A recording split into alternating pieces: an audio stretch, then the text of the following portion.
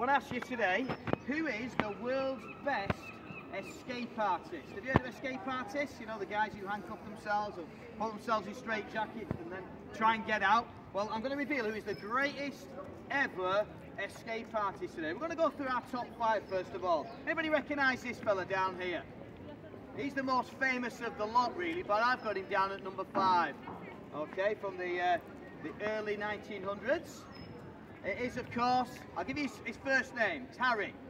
It's Harry Houdini. Harry Houdini. There we go. Harry Houdini. All right. He's, uh, you see him there being lowered into a, a vault of water, and he famously escaped that.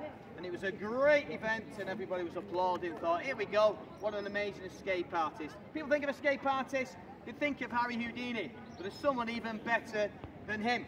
He was, uh, he died in uh, 1926, October the 31st on Halloween, interestingly enough. Um, and he was going to do a buried alive trick. He was going to get buried alive and he was going to try and escape from it. And that was going to be his next show. But unfortunately, he died before that and didn't get a chance to do it. But the bronze casket that he was going to get uh, put in for that ended up being uh, the actual coffin for him when he was transferred from Detroit to New York for his funeral. So there we go. But one man who did manage to succeed in the buried alive trick was this fella called Alan Allen. All right, so good, they named him twice. Alan Allen, actually taught than Alan Allen. Not this Alan Allen, a different Alan Allen. I don't know why he was called Alan Allen either. But uh, anyway, he, uh, he did succeed in doing the buried alive trick, but only just. he nearly died, and that's why he became so famous, because everybody talks about how he nearly died in this trick. But he also did this way. He doused a rope with petrol, set it alight, and he had to get out before, he had to escape from his straitjacket before the, the rope burned through and he crashed to his death. So he managed to succeed in doing that. He invented that particular trick. But he's not the, the world's best escape artist. What about number three? Anybody recognise her? It is Dorothy Dietrich. And uh, she, as you see her there, she's done the old straight jacket upside down Bernie rope trick as well. Uh, she's the first woman to do that. But she also invented the catching the bullet in your mouth trick, which is pretty impressive, isn't it? So there's a, a great escape artist, but she's not the world's best escape artist. Who've got at number two? This fella, anybody recognise him? They should recognise him because he's the, he's the only one who's still alive out of all these guys. Um, it is David Blaine. Did a lot of street magic and then he started becoming greater escape artist stuff. Famously stayed in uh, a box for 40 days without any food, suspended near Tower Bridge in London. And uh, he also did this trick, or he tried to do this trick. He tried to encase himself in ice for 72 hours.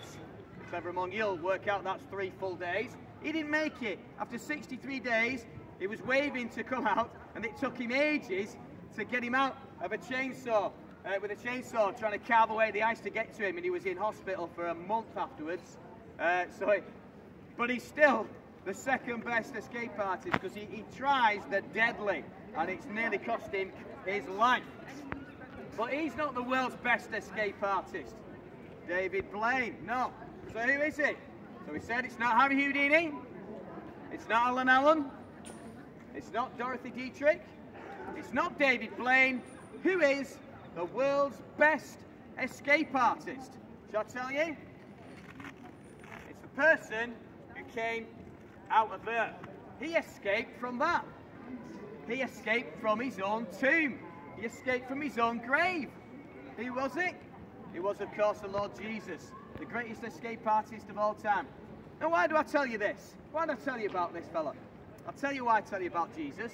Because his escape from the grave, his escape from the tomb, gives us hope. It shows that we can also escape from the tomb as well. And do you know how we do it? We come to faith in Him. We come to faith in Jesus Christ. We accept that He is who He said He was, the Son of God. We accept that He is God. And we, we, we come to Him and we say, sorry for the wrong things that we've done.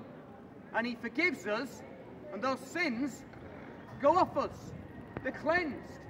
So that when we die, we can go to perfect heaven because we've been made perfect by the blood of Jesus, the greatest escape artist ever, the only one who ever beat the grave.